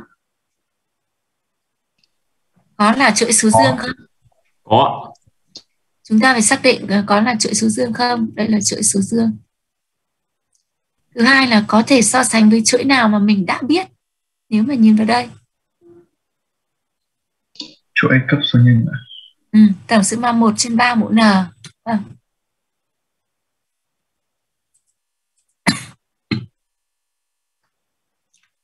Cái này sẽ nhỏ hơn bằng 1 trên 3 mũ n với mọi n lớn bằng 1. n lớn hơn 1 thì căn bậc 3 của n cũng sẽ lớn hơn 1. Thì 1 trên căn 3 của n nhỏ hơn 1. Thế mà, tổng sigma 1 trên 3 mũ n hội tụ vì là chuỗi cấp số nhân với công bội có giá trị tuyệt đối nhỏ hơn 1. Vậy chuỗi đã cho hội tụ theo định lý so sánh.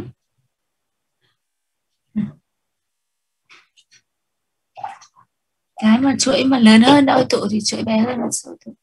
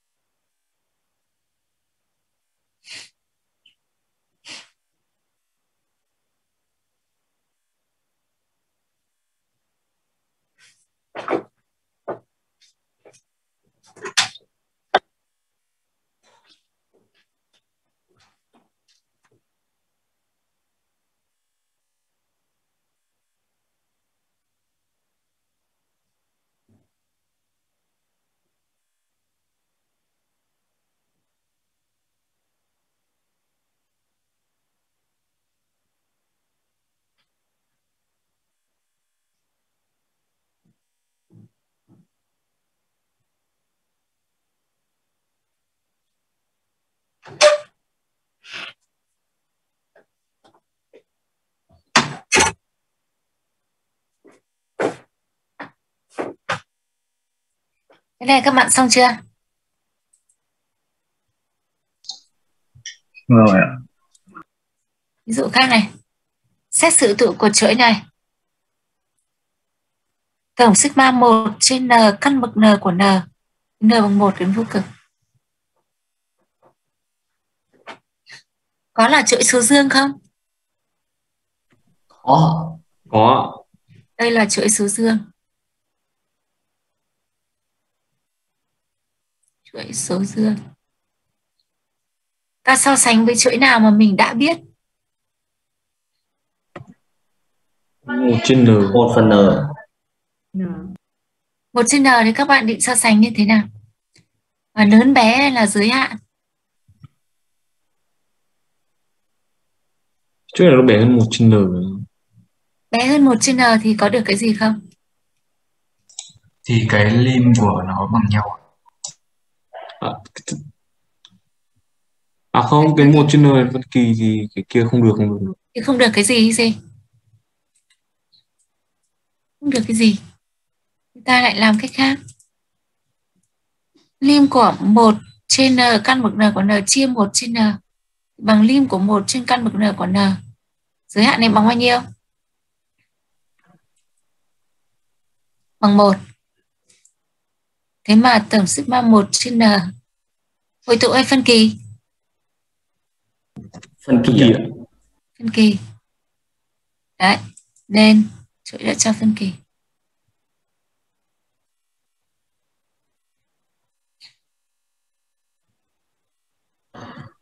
Em cô, ừ. em có cái thắc mắc ở cái chỗ này. Ừ.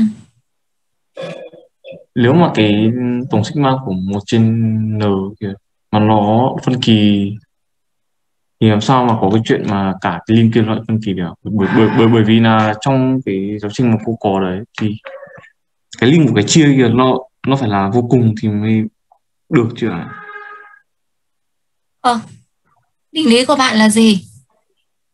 Không nhỏ hơn k, nhỏ hơn dương vô cực thì tổng sigma UN và tổng sigma VN cùng tính chất hội tụ hay phân kỳ cơ mà. Trong đó k là gì? Lim của UN trên VN khi n dần đến vô cực bằng k. Đúng chưa? Đây chính là trường hợp này đây này. Đây là khi k bằng một nhưng mà trong giáo trình nó phải ghi là nếu mà cái lim của hai cái chia kia kìa nó phải là vô cùng mà cái ờ, mà mà cái mà cái tổng sigma của một trên n kia nó phải là phân kỳ thì suy ra thì nó có ba trường hợp Đây là một trường hợp, còn cái em nói là một trường hợp. Cái em nói đấy như bạn vừa phát hiện ra đấy. Đó chính là nếu lim của UN trên VN bằng dương vô cực và tổng sigma VN phân kỳ thì tổng sigma UN phân kỳ đúng không? vâng ạ Nếu em dùng cái này cũng được. Nếu em dùng thì em chứng minh được cái này cũng được nhưng mà em có làm được cái này đâu. Cái này em không áp dụng được. Thì em áp dụng cái này. Muốn áp dụng cái nào thì áp dụng nghĩa là làm được bài toán thôi. Em đang nghĩ đến cái này, cái- cái này không được. em cô tin nếu mà Đây cái, bây giờ tôi nói ý em nhé.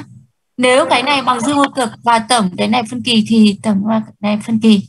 Còn nếu cái này bằng một và tổng sigma VN phân kỳ thì em không suy ra được điều gì hết. Em không thể nói là giới hạn bằng một và tổng cái này phân kỳ thì không suy ra được cái gì đó. Có phải ý em là như thế không?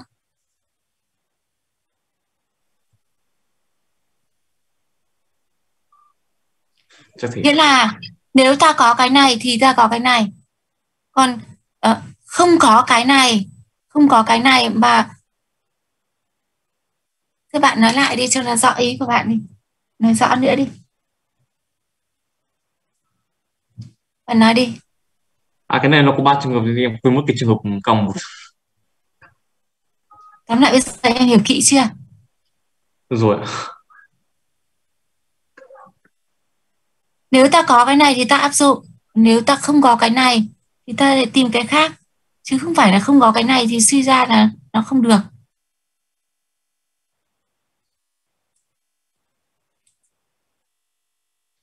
Còn hỏi điều gì nữa không? Các bạn hỏi cái gì không? không ạ Thế tôi nhắc lại, giới hạn đáng nhớ là lim của căn bậc n của n khi n dần đến vô cực bằng một. Cái này chúng ta nói nhiều lần rồi nhé. Lim của căn bậc n của n khi n dần đến vô cực bằng một. Đây là giới hạn đáng nhớ và dùng rất nhiều trong phần này.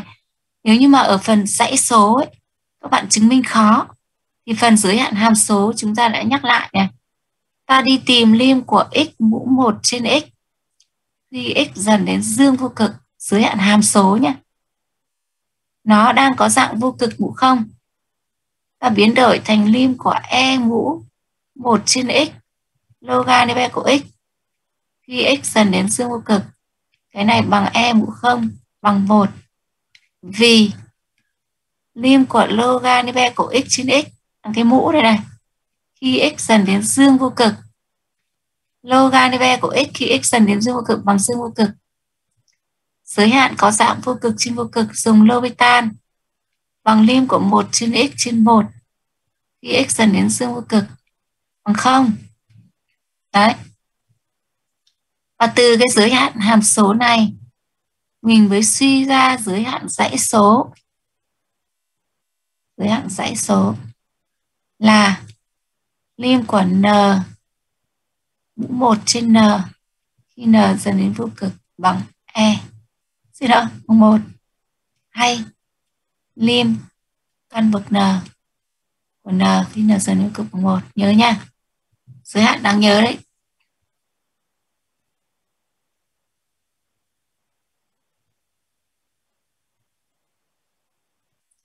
Xóa nhé.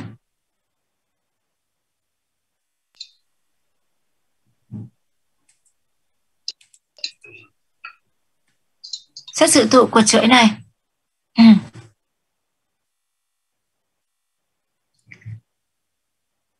Có là chuỗi số dương không? có Chuỗi số dương vì sao? một cộng một phần lớn luôn hơn dương hoặc bằng bên này. kèo là luôn dương một cộng một trên n lớn hơn một đúng không? Chuỗi số dương. Nhưng mà à, mình sẽ so sánh với chuỗi nào? Mà mình đã biết trên n một trên n đúng không? Thế có liên quan gì giữa cái này với một trên n không? cái này nó lớn hơn một trên n Logaritme của 1 cộng x tương đương với x. Giới hạn đáng nhớ đấy. X dần đến 0. Đúng không? yes. Cho nên logaritme của 1 cộng 1 trên n tương đương 1 trên n khi n dần đến vô cực. Thế mà tổng sigma 1 trên n ấy, phân kỳ. Nên chuỗi đã cho phân kỳ.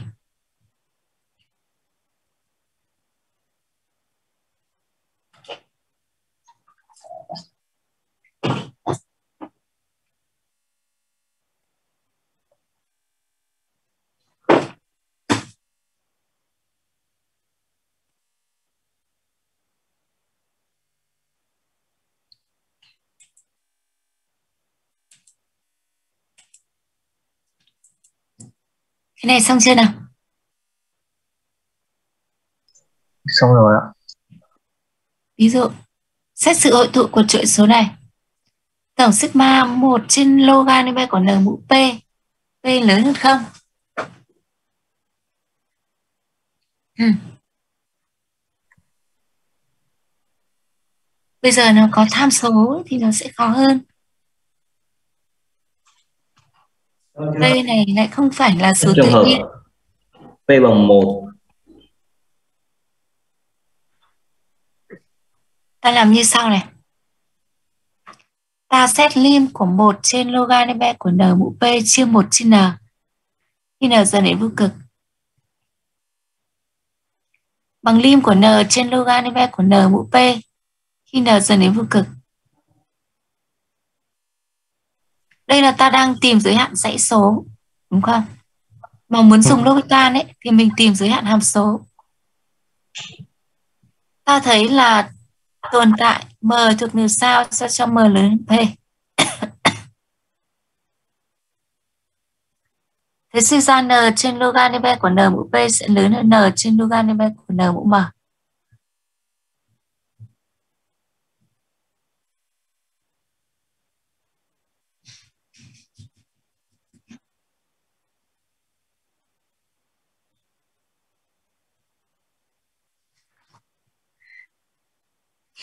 Cái này mũ p sẽ nhỏ hơn cái này mũ m cho nên một trên cái này mũ p lớn hơn một trên cái này mũ m.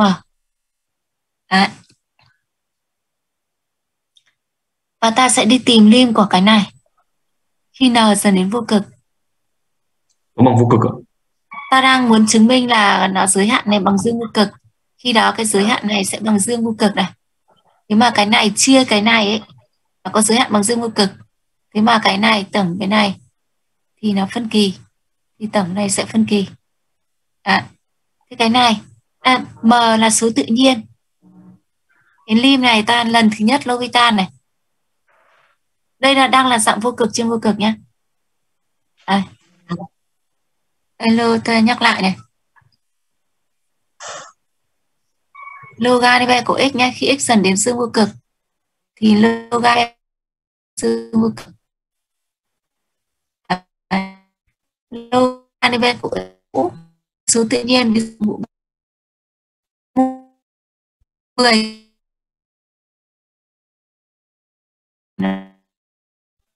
dương vô cực là số beta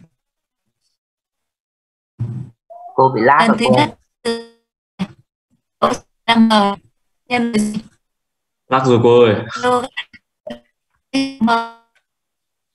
ờ, con thưa cô là mạng cô hơi kém nên là tiếng nó hơi giật giật ạ. có nghe có cô ạ. À? Sao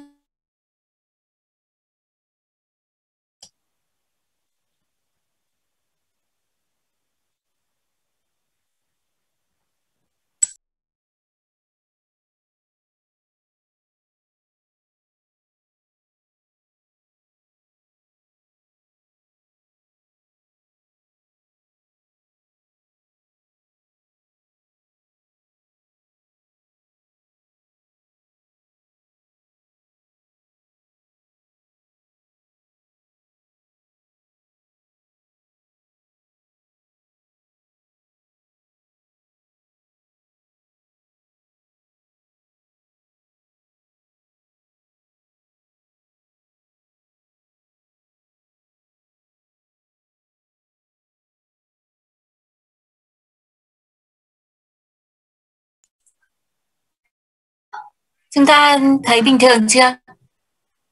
Được rồi ạ. Rồi ạ. Rồi. Nghe có rõ không?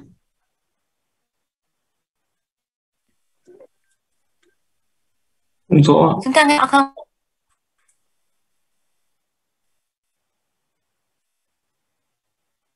Các bạn có nhìn thấy slide không? Chưa. chưa chia sẻ màn hình Chưa slide? Chưa thấy slide à? vâng Thấy slide chưa?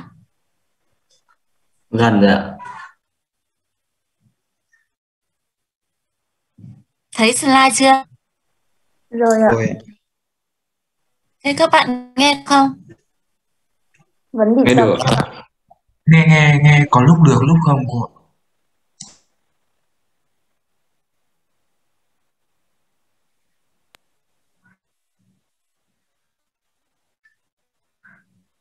Nên để buổi sau đi cô ạ.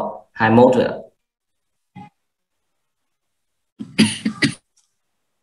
Làm nốt ví dụ này.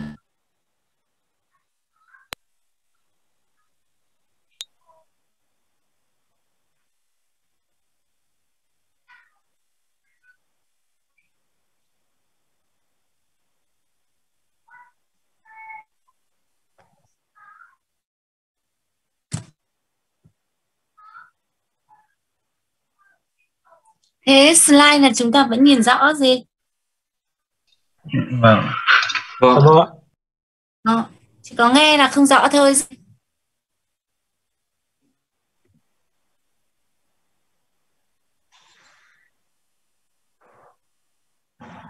Đúng không? con cô là nó bị giật giật đấy cô không nghe gì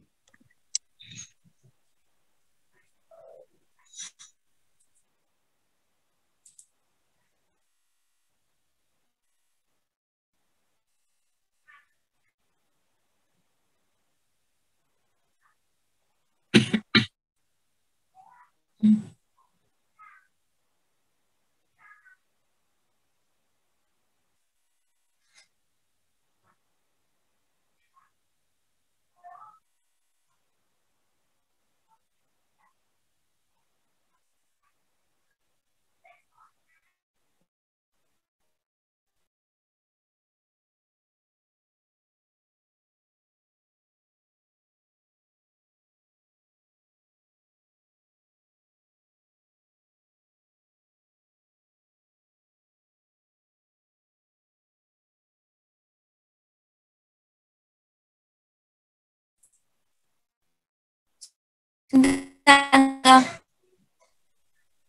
Không ạ. Nghe được tầm 40% rồi cô ạ. Nó giật lắm cô ạ.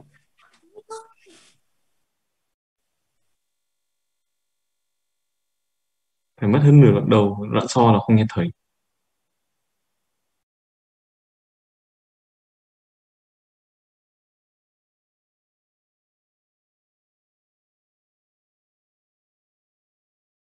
Thôi được rồi. Tắt.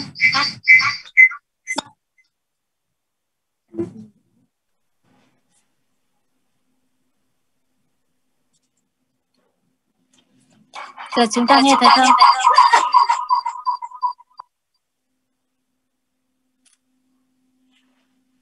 có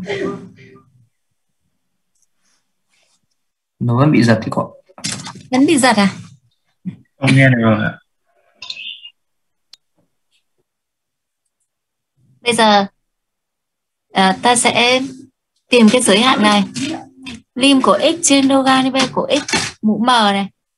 Thì à, lần thứ nhất này, chúng ta L'Hopital thì nó sẽ bằng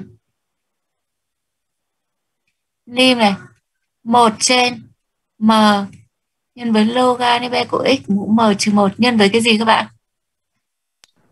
một Đây là một trên x nhân với 1 trên x gì? Thế thì mình lại đưa cái x này lên đây. Tức là bằng lim này, x dần đến dương vô cực này. M- x trên m nhân với logaritm của x mũ m trừ 1. Đấy. thì xong mình lại à, tiếp tục L'Hopital. Nobita vì ở bên trên này nó chỉ có một thôi còn bên dưới là có một trên x một trên x thì mình lại đưa lên trên này đấy. Khi nào mà cái mũ này ở dưới mẫu này này m là số tự nhiên, khác không nhá. Nếu mà cái mũ này m trừ một này mà còn lớn hơn không ấy, thì giới hạn nó vẫn bằng dương vô cực, đúng không? Còn đến khi nào mà cái mũ này nó sẽ bằng không, thì trên tử này nó vẫn có x, còn dưới mẫu này thì nó chỉ là một thôi. Nhân với lại à, một loạt các cái số. Thì giới hạn sẽ bằng dương vô cực đấy thế mà giới hạn hàm số này mà bằng dương vô cực ấy thì cái giới hạn dãy số này này nó cũng sẽ bằng dương vô cực có nghĩa là cái lim này chia cái này bằng dương vô cực mà, mà chuỗi phân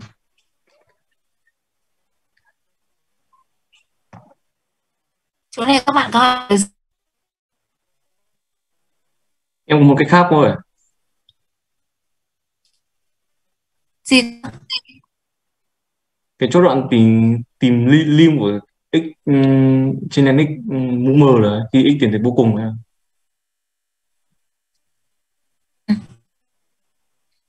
bây giờ tiếp cho nó cụ thể cho bạn nhìn. Ví dụ này của x này. Logaritm của ba đi. À, cũng như 3 g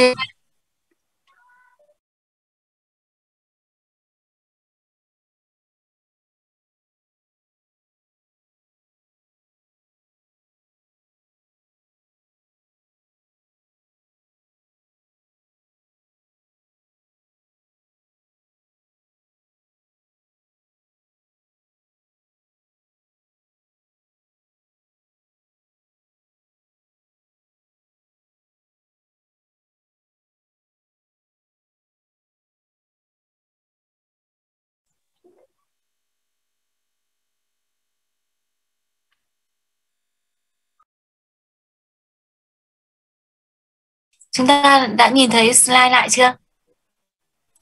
Rồi Rồi ạ. rồi ạ bây giờ ta nói m là 3 đi. Lim của x đây này. Logaritm của x mũ 3 cho nó dễ. Đấy thì sẽ bằng này. Lobitan này lần một là một này. Trên này. 3 logaritm của x bình phương này. Nhân với gì? Một trên x đúng không x dần đến dương vô cực. Bằng lim này x trên này 3 logaritm của x tất cả bình phương. Khi x dần đến dương vô cực này bằng lim này tôi tôi bỏ qua cái này cho nhanh nhé. Đàm của tử là một này à, của mẫu là 3 này. Nhân với 2 này logaritm của x nhân 1 x. Chưa? Bằng lim này trên 3 này nhân 12 này trên nhân logaritm của x này. Thì lại bằng lim của 1 này, trên 3 này 12 này, nhân 1 trên x này. Thì bằng lim của x này, trên 3 nhân 12 này. Đấy, thì bằng này, lim của 1 này.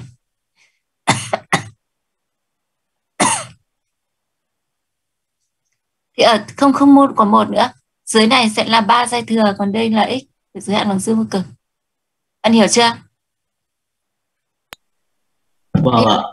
Chưa? Có nghĩa là mình cứ làm nhiều lần như vậy cứ trên tử là x rồi cuối cùng là dưới mẫu là nó hết sạch đi nó chỉ còn là m dây thừa thôi. Em Chúng còn ta- một cách khác để tính cái lim hả? Em có một cái cách khác để tính được cái uh, lim của cái x trên len x nữa đây á? Vâng. Đây gì? Ừ. Vâng. Mình đặt Ok, t bằng len x ừ đặt t bằng logaritm của x rồi sao?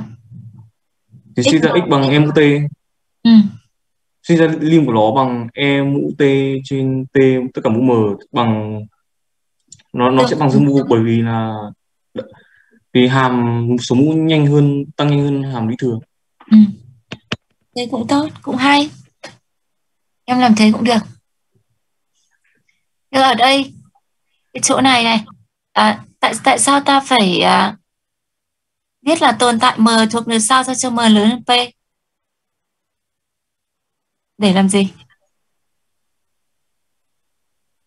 À để nếu mà ta dùng Lovitan ấy, thì sau mấy lần thì nó hết.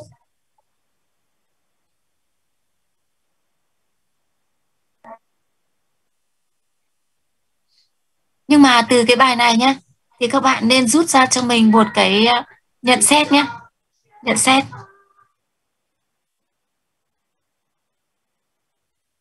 Rút ra một nhận xét sau khi làm bài này nhé. Đó là ly của x yoga b của x, mũ, lambda.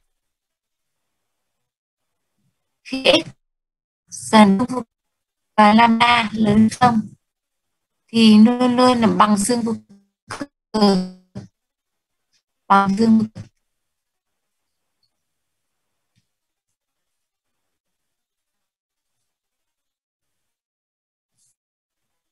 bằng dương cực nha đấy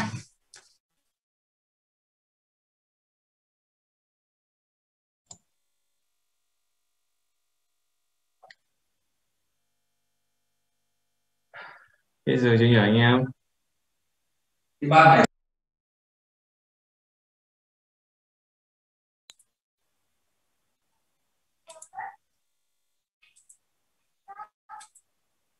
thôi, viết nốt dòng này nữa là chúng ta sẽ nghĩ thôi.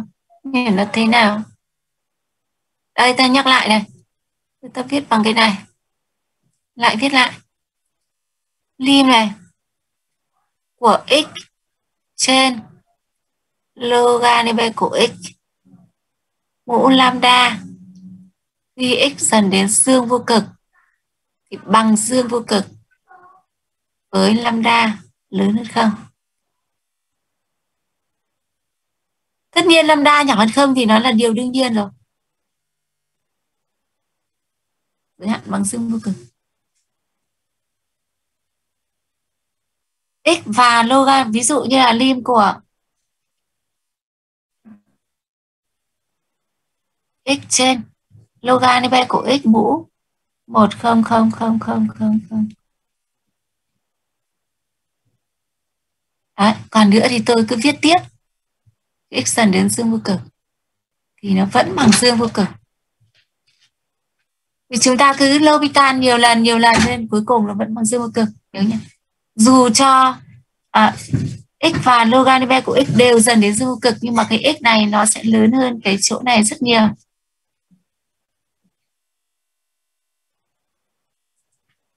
Thôi hôm nay chúng ta học đến đây nhé. Mai sẽ học tiếp. Các bạn về nhà đọc trước phần chuỗi số đi và làm bài tập chương đạo hàm và chương tích phân. Chúng ta có hỏi điều gì nữa không? Không có là tuần sau kiểm tra là kiểm tra thứ mấy ạ?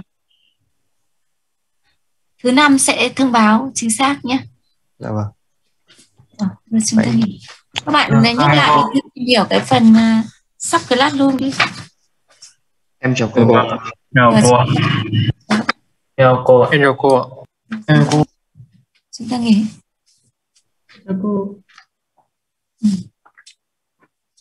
嗯。